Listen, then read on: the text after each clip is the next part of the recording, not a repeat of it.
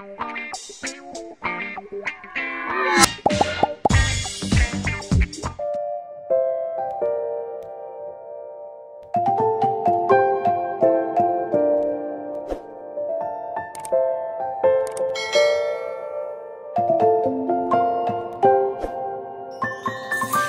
many places still undiscovered, but you're stuck in a. was just for the moment. That is the kind of story.